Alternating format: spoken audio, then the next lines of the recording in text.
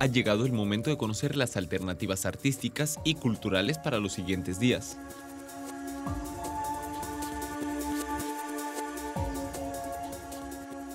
Con motivo del 25 aniversario de la fundación del coro del Ayuntamiento de Guadalajara, se realizará el concierto Requiem de Luigi Cherubini, en C menor para coro mixto, bajo la dirección de Roberto Gutiérrez, hoy jueves 6 de noviembre a las 8 de la noche en el Museo Panteón de Belén. La Alianza Francesa de Guadalajara presenta Yo, el pintor Arevalo en París, obra plástica que será inaugurada la noche de hoy jueves 6 de noviembre a las 8.30 de la noche. Estas obras estarán expuestas hasta el 18 de diciembre.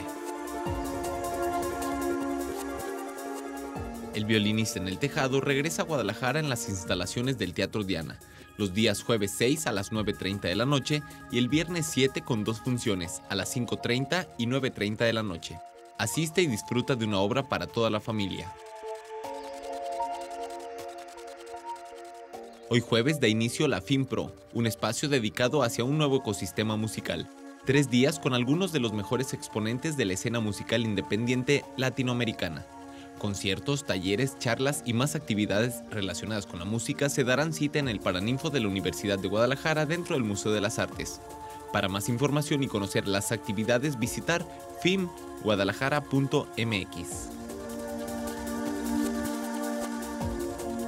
Seguimos con más música y es que Comunitaria nos tiene preparado un concierto didáctico este próximo sábado 8 de noviembre a las 5 de la tarde.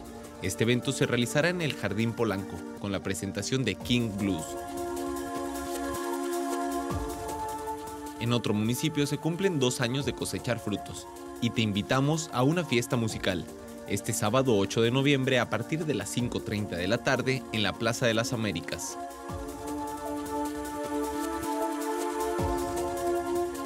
Para finalizar, los invitamos la próxima semana al Festival de Integración y Apreciación Artística Cipicua 2014.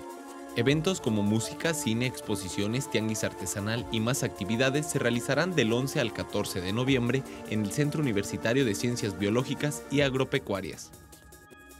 Hasta aquí nuestro menú de actividades para que aprovechen y salgan a vivir la cultura.